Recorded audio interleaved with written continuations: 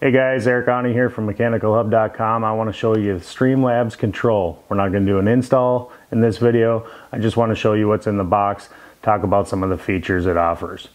Alright, so this is how it comes packaged. This is a 3 quarter inch SharkBite connection here, as you can see it labeled on the box.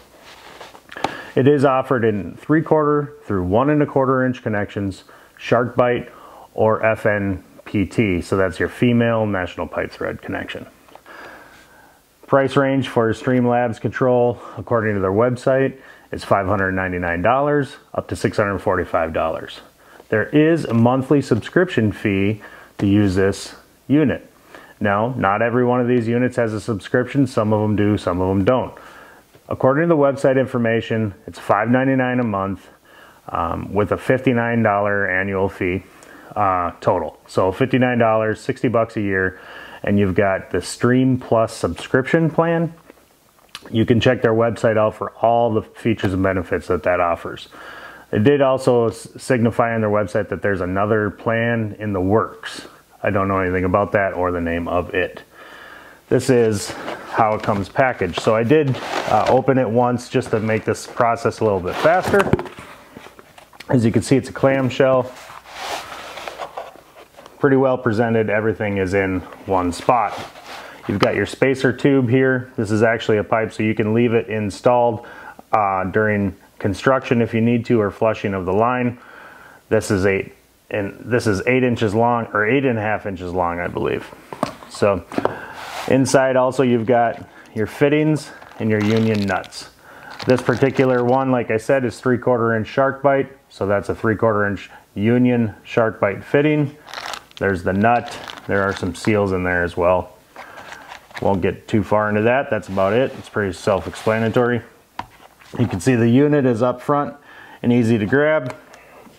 Inside, you've got instruction packet along with some information about the, the app, the app store, the subscription, things like that. Underneath, you've got a power adapter with a 10 foot cord. Pretty basic stuff, nice looking packaging. Looks like it's gonna be protected on uh, service van, so that's nice. I'm gonna set this aside, excuse me, and just focus on the unit itself. So this is a powered unit, like you heard me say. It does come with a uh, power head and a 10 foot cord. Power attachment, our plug-in is right here on one end. It does have, uh, that is the outlet end by the way. It does have a, a mode in order to over manually override the unit in the case of a power failure. That's right here. You've got a connection for a 12 volt, uh, or I'm sorry, a 9 volt battery insertion to manually overdrive, override the unit by powering up the control. On top, you've got power and operation button right here.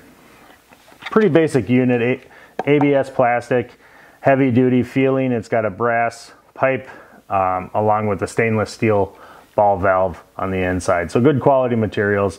IP54 rated. What that means is it's rated for indoor use. Uh, according to the information in the packaging and also on their website, you can install this outdoors with the proper enclosure. Now I looked briefly on their website. I'm not sure what the proper enclosure is or where to get it, but I'm sure it's there contact a rep or Streamlabs if you have want more information on that. It does also say that it can be installed in a crawl space. So, a uh, couple couple more details on how this unit operates. Uh, you do need 2.4 gigahertz Wi-Fi connection. Uh, they talk about that many times in the instructions and also on their website. So there's a procedure on testing the Wi-Fi connection on where this thing's going to be installed. Uh, my suggestion is to adhere to that for sure for for everybody's benefit.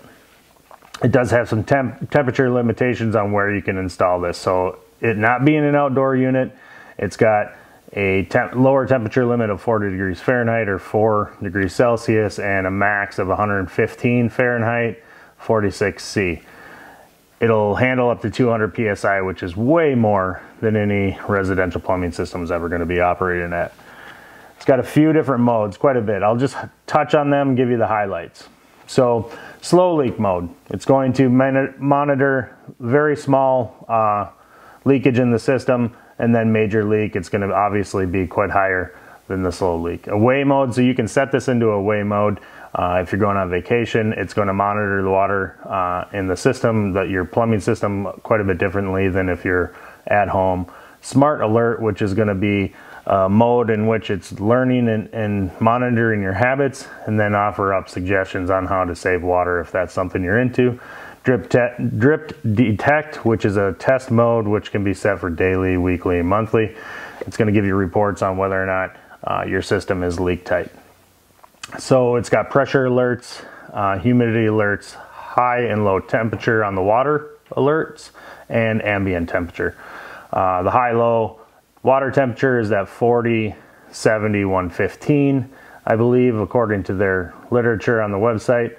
And then the humidity alert, which I thought was interesting. 60% humidity, monitor, you know, it's going to mo monitor the humidity in the space where it's installed, and at 60%, it's going to alert you on your mobile app. So uh, obviously, like anything these days, you can get the app on the, the Apple App Store or Google Play. And uh, the app itself is free.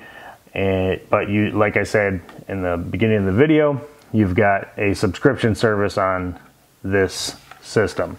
So this is the Streamlabs Control. It's a leak detector and shut-off valve for uh, single-family residents.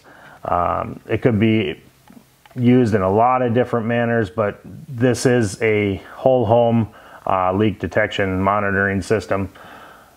So if, if you found this video helpful, I appreciate you uh, subscribing to the channel here. We'll try to show you very soon an install video and an operational video on the app and how this thing all really goes to, comes together as a whole. Thanks. Have a good day.